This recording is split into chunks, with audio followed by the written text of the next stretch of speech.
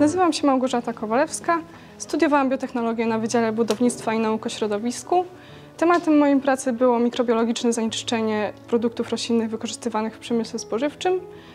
Celem mojej pracy było zbadanie mikrobiologicznego zanieczyszczenia produktów roślinnych wykorzystywanych w przemyśle spożywczym.